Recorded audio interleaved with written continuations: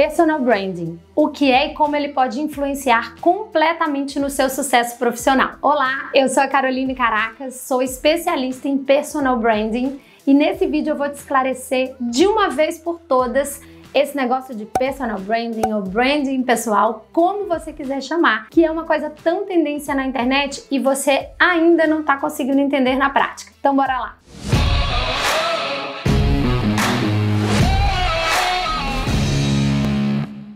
Primeiro, antes de explicar o termo personal branding, eu quero te explicar o que é uma marca pessoal, que é o nosso maior ativo na vida. E o personal branding é o que a gente vai usar para gerir essa marca. Eu vou te explicar de uma forma bem simples.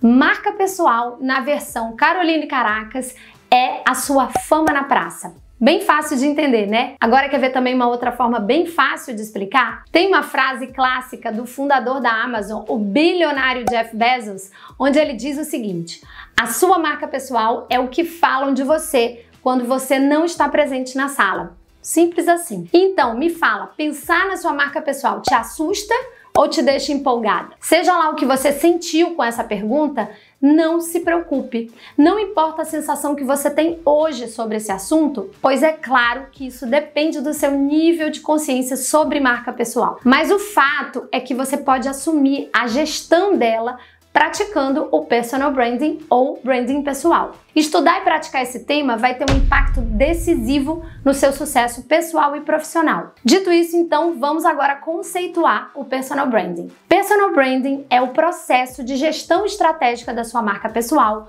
planejando e orquestrando a mensagem que você quer comunicar através dela, que são todos os impactos e percepções que você tem sobre o seu mercado, seja na sua audiência, clientes, parceiros e todo e qualquer tipo de relacionamento na vida. Tem até uma brincadeira interessante que a gente usa para explicar quem tem e quem não tem um branding pessoal bem trabalhado. Quer ver um exemplo?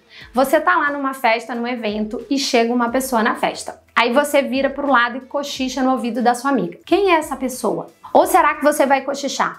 Nossa, ela veio. Qual dessas duas tem um branding pessoal bem trabalhado? Pode parecer cruel, mas é a vida. Na nossa estrada de carreira, seja no mundo corporativo, seja como empreendedora, o fato é que quando nós trabalhamos branding, nós somos mais conhecidas e reconhecidas e todos os nossos resultados se aceleram. A sua marca pessoal pode estar abrindo portas ou fechando portas, ou simplesmente hoje ela pode estar tão morna que tem mantido as pessoas assim, ó, indiferentes à sua existência. Quer ver uma situação bem comum? Eu vejo que tem muita gente hoje frustrada com o fato de ser ignorada em redes sociais.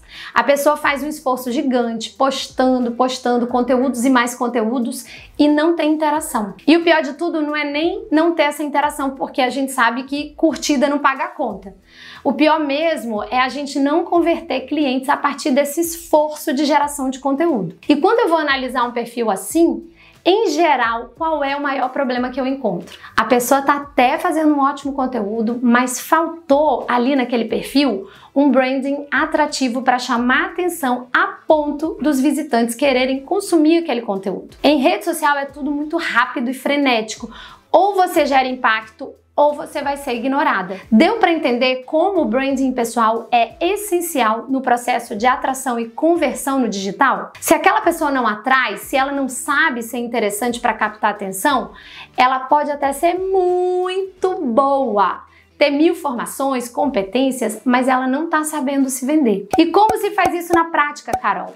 Calma, porque não é mágica nem dom, é questão de método. Ao longo da minha carreira e principalmente depois de ter feito a transição do mercado de marketing corporativo para o mercado digital, depois que eu pedi demissão e comecei um voo solo na internet como consultora, eu fui entendendo o que eu precisava comunicar para atrair clientes e aumentar o meu faturamento. Foi então que eu mapeei claramente quais eram os pilares essenciais dessa marca pessoal forte e bem posicionada que traz resultados. E esses pilares são a sua imagem pessoal, o seu conteúdo, o seu lifestyle e o seu networking. Eu testei muita coisa e verifiquei na prática que esses quatro pilares formavam a base de um método assertivo para atrair os clientes certos. Esse vídeo aqui ficaria muito longo para eu começar a falar agora de cada um desses pilares, mas calma que você vai ter a chance de aprender sobre isso aqui no canal em um outro vídeo onde eu vou detalhar e mostrar exemplos práticos de cada um dos pilares. Agora eu vou me despedir de você te deixando uma pequena tarefa reflexiva que traz grandes resultados se você der atenção a ela. Promete? O seu objetivo em se tratando de marca é que as pessoas saibam dizer em poucas palavras porque elas escolhem você e não o seu concorrente. Então, se pergunte hoje: que marca você tem deixado na mente do seu mercado? E como você quer ser reconhecida na sua área? Pelo que você quer ser lembrada? Qual é a marca que você quer deixar? Pense em grandes marcas como a marca de celular que você tem, a roupa que você veste, os lugares que você frequenta, os experts da internet de quem você compra.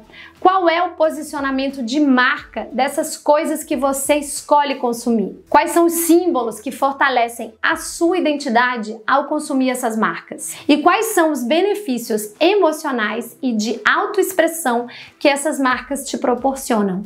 Se você entendeu até aqui que a sua marca emite sinais, códigos, valores, benefícios, promessas e você entendeu também que pode gerenciá-los a seu favor, então a gente está com a missão cumprida nesse vídeo, porque você entendeu o que é o personal branding. Eu espero muito ter te ajudado hoje a pensar um pouco mais na sua marca pessoal e no quanto ela é indispensável para atingir aquilo que é sucesso para você. Agora, para a gente se despedir, se você chegou até aqui nesse vídeo, não sai sem dar aquela curtida e deixar o seu feedback, ok? Me conta qual é a sua maior dificuldade em construir uma marca pessoal forte e reconhecida aqui no digital. E para você já começar agora aumentar muito o seu conhecimento sobre branding pessoal, tem uma série de aulas que eu dei aqui que são imperdíveis e eu vou deixar o link na tela final desse vídeo. Então bora lá, porque você aí, ó, é muito boa, mas precisa aprender a se vender. Um beijo grande e até o próximo vídeo.